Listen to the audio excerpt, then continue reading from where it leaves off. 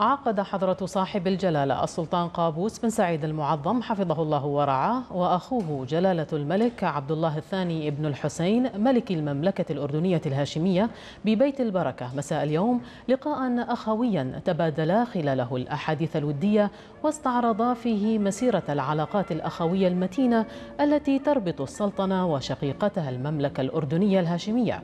وكافة أوجه التعاون الثنائي القائم بين البلدين بما يعزز أواصر الأخوة بين الشعبين العماني والأردني الشقيقين ويحقق المزيد من تطلعاتهما نحو التقدم والرقي والازدهار.